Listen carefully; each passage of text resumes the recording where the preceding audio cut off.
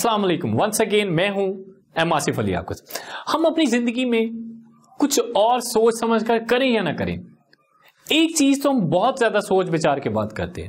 وہ یہ کہ کسی کی ہیلپ کرنا۔ ہم بہت زیادہ کنجوس ہیں۔ یعنی کہ میں اس ویڈیو میں بات کرنے جا رہا ہوں۔ فائنینشلی ہیلپ کی، مالی امداد کی۔ وہ ہیلپ سو پچاس ایک ہزار، یہ اس سے زیادہ کی بھی ہو سکتی ہے۔ کیسے؟ میں ایک ایگزامپل سے آپ کو سمجھاتا ہوں۔ ایک دفعہ ایک بندر والا ایک بندر تماشا کر رہا تھا۔ بندر ادھر ادھر کرتب لگاتا، دیکھنے والوں کو خوش کرتا۔ جیسے یہ کھیل ختم ہوا، لوگوں نے کچھ نہ کچھ پیسے دینے شروع کر دیے۔ کوئی پانچ دے رہا ہے، کوئی دس دے رہا ہے، کوئی بیس دے رہا ہے، کوئی پچاس دے رہا ہے۔ تو یہ سارا منظر ایک کھڑا ہوا آدمی دیکھ رہا ہوتا ہے۔ اس کی جیب میں بھی دس روپے ہوتے ہیں۔ وہ پاس آتا ہے، اس طرح سے اپنی جیب سے دس روپے نکالتا ہے۔ سوچنے لگتا ہے کہ میں دوں یا نہ دوں، میری اور آپ کی طرح کنجوس جو ہوتا ہے کہتا ہے کہ چلے ڈال ہی دیتا ہوں۔ پھر ہاتھ واپس ہٹا لیتا ہے پھر کہتا ہے کہ چل نہیں ڈالتا۔ میری ایک کے نہ ڈالنے سے کیا فرق پڑتا ہے؟ سب نے تو دے دیے پھر سوچنے لگتا ہے، کیا یاد کرو؟ گے ڈال ہی دیتا ہوں۔ ڈالتے اس کے مائنڈ میں آتا ہے کہ چلیں ایک دفعہ دیکھ تو لوں۔ وہ ایسے اپنی مٹھی کو کھولتا ہے اتنی دیر میں اس کے ہاتھ میں پسینہ آ چکا ہوتا ہے۔ تو وہ پسینے سے گیلے ان دس روپے کو دیکھتا ہے، کہتا ہے، تو رو مت۔ میں نہیں ڈالتا۔ مجھے پتا ہے، تو مجھ سے بہت پیار کرتا ہے۔ اور دوبارہ سے اسے اپنی پاکٹ میں ڈال لیتا دوستوں میری اور آپ کی کہانی بھی کچھ ایسی ہے۔ کسی کی مدد کرنا یا جیب سے پیسے نکالنا ہم سے سب سے مشکل کام لگتا ہے۔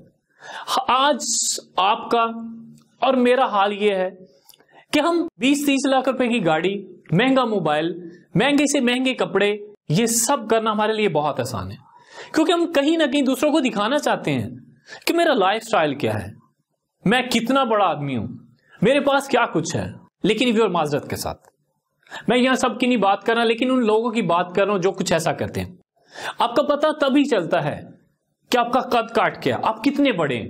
جب آپ کا کوئی بہن، بھائی رشتے دار آپ سے ایک ہزار روپیہ مانگتا ہے، تو ہم سو دفعہ سوچتے ہیں جھوٹ بولنے کی کوشش کرتے ہیں، ٹال مٹول کر دیتے ہیں۔ لیکن یہ نہیں سوچتے کہ ایک ہزار روپے سے دوسرے کی کتنی بڑی ضرورت پوری ہو سکتی تھی۔ آج ہم نے یہ تو سیکھ لیا ہے کہ پیسے سے پیسہ کیسے بنانا ہے۔ لیکن ہم یہ کیوں بھول جاتے ہیں؟ کہ اوپر والے نے اگر ہمیں دیا ہی ہے تو ہم اس کو اچھے کام میں کیوں نہ لگائیں؟ خدا کے ساتھ تجارت کیوں نہ کریں؟ کیونکہ خدا تعالیٰ فرماتے ہیں کہ اگر آپ کسی کی بھلائی پر، کسی کے لیے آسانی دیتے ہو تو اس پیسے کا اجر میں دنیا میں بھی دیتا ہوں اور آخر میں بھی دوں گا۔ پیسے کا ایسی چیز ہے جو کماتے ہم خود ہیں، کھا کے ہو جاتا ہے۔ تو کیوں نہ کہ اس پیسوں کو جائے ضرورتیں پوری کرنے کے ساتھ ساتھ دوسروں کی آسانیوں کے لیے بھی خرچ کیا جائے۔ کیونکہ جب آپ اپنے ہاتھوں سے کمایا ہوا پیسہ دوسروں پر خرچ کرتے ہیں، دوسروں کے چہروں پر مسکراہٹ لاتے ہیں، کسی کی ہیلپ کرتے ہیں، تو آپ کے دل کا سکون بھی بڑھتا ہے۔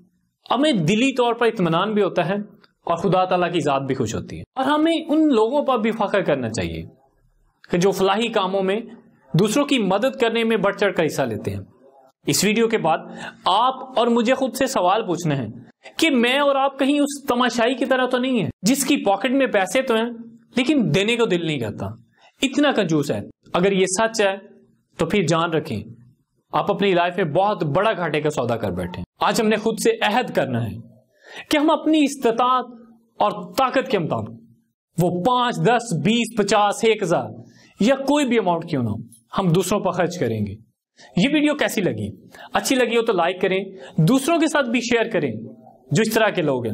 چینل کو سبسکرائب کریں اور بیل نوٹیفکیشن کو آن کریں تاکہ تمام ویڈیوز آپ تک پہنچتی رہے اپنا قیمتی وقت دینے کا، اس ویڈیو کو دیکھنے کا لائک کرنے کا اور شیئر کرنے کا بہت شکریہ. تھینک یو سو مچ اللہ حافظ.